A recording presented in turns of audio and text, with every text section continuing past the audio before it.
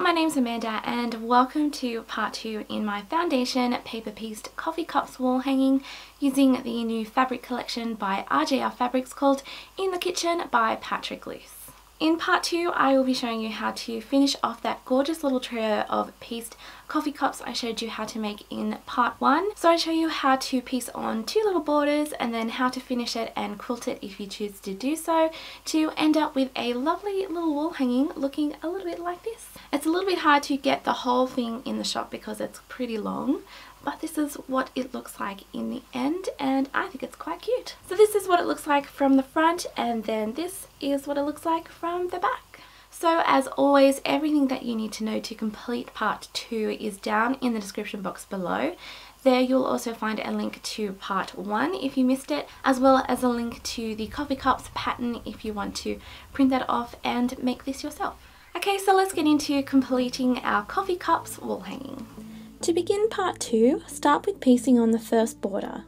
For this you will need all three coffee cups completed and pieced together, along with two 1.5 by 23 inch strips and two 1.5 by 10 and 3 quarter inch rectangles. So take one of the longer strips and lay it out along one of the longer sides of the pieced cups.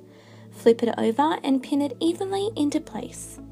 At the sewing machine, sew a quarter inch line along the full length of this edge and then with a medium to hot steamy iron, press the seam outwards towards the border strip. Then repeat the same set of steps to sew on the other border strip to the opposite side of the pieced coffee cups. Once that's finished, move on to sewing the two smaller border strips to the top and bottom edges, remembering to keep the seam allowance at a quarter inch and then pressing it outwards with the iron.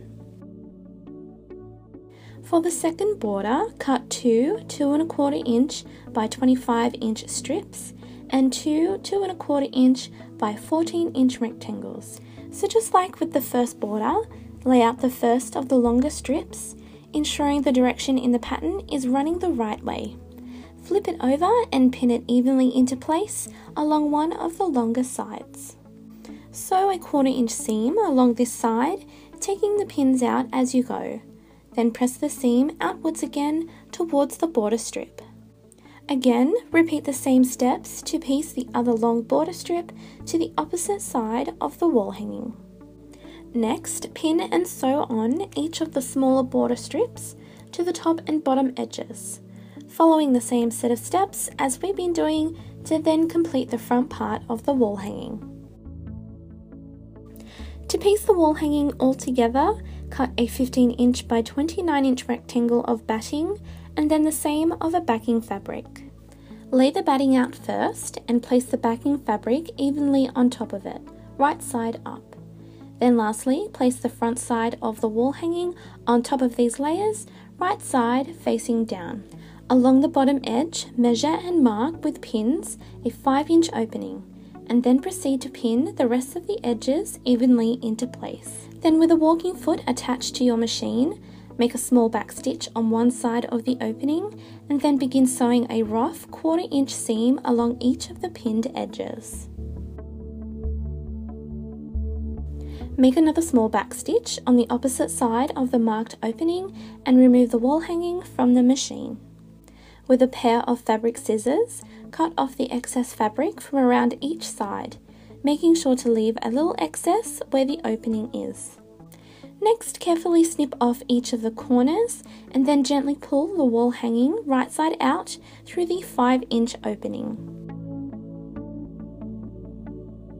Use a chopstick to push out each of the corners and then with your fingers evenly fold in the raw edges at the opening.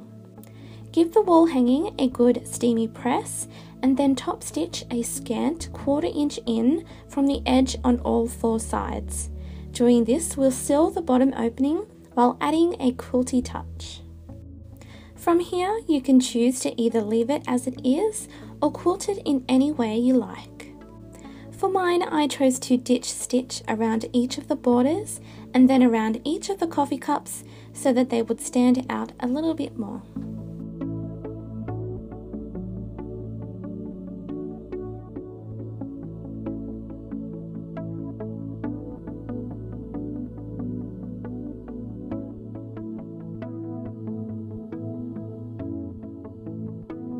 I think one of the great things about this pattern is you don't have to just make it into a wall hanging. You can definitely, definitely make more paper pieced cups and turn it into a table runner. You can definitely just make one block and turn it into like a mug rug or like a pot holder or something like that. I think it really is up to you to use your imagination to create something that you will love and use.